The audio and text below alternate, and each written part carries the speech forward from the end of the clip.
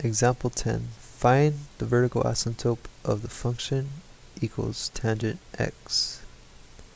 Alright, so what do we know about tangent? Especially if you take in trigonometry. If you haven't, it's okay. I don't condemn anybody for not learning calculus is hard when you don't know a lot, I'm trying to teach my course so anyone can learn So let's say that sine x this will be cosine of x. So if you take in trigonometry, we know that this tangent equals this. So that's really important. Says note when x equals 0. So what happens when x equals 0?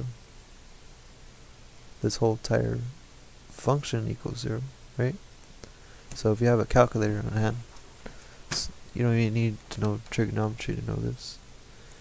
So let's plug in tangent equals 0, like it's a 0. Alright, so what happens if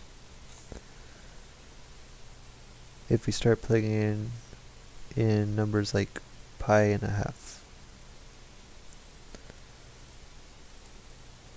Let's see what happens. So let's, see, I plug in tan, tangent pi divided by half. It says error. It says error. So we know that, right? So we gotta figure out potential vertical asymptotes. And so what do you think it's going to give us vertical asymptotes?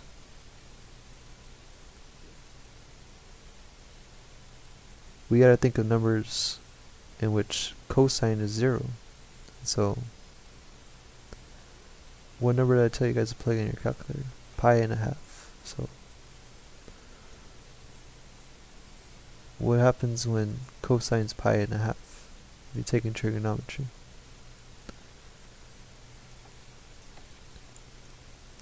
So cosine's, what did I say? Pi and a half. So this is 0. That's pi and a half. That's pi. We know that when cosine's pi and a half, it's 0. Because cosine, big significance is x, right? So if cosine was 0, it would be 1.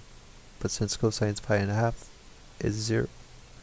And so that means that when this is 0, tangent is undefined per se. But what's happening is when cosine's undefined, our curve, or the tangent line, it's going infinitely so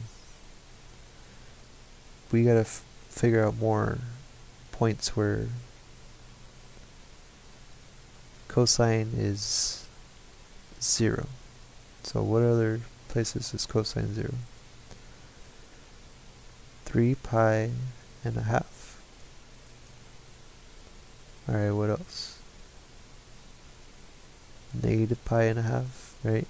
Negative numbers too.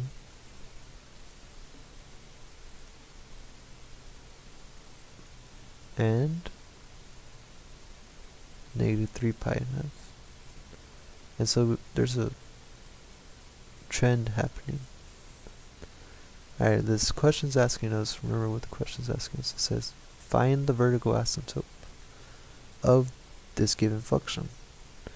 And we could tell there's an infinitely many of, of asymptotes.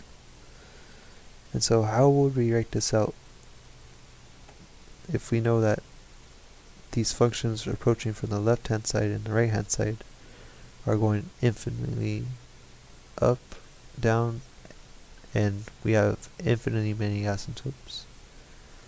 Well then we have to write something out like this. We say thus x equals pi and a half, right? Because that's a significant number that matters when tangent it's an error and when cosine zero. So this is really important.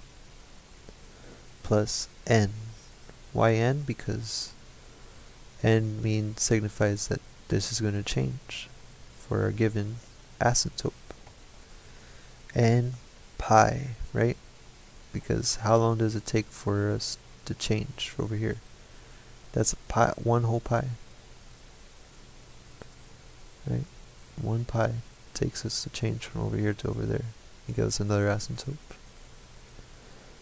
Alright, but what happens if we had a, a certain number here that's not leading over there to 3 pi and a half? Let's say we had 0.1. Well then this would be wrong, right? So now we gotta keep adding to it.